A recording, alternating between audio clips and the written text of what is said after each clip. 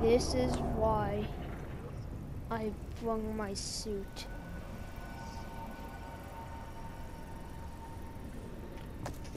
Time to go.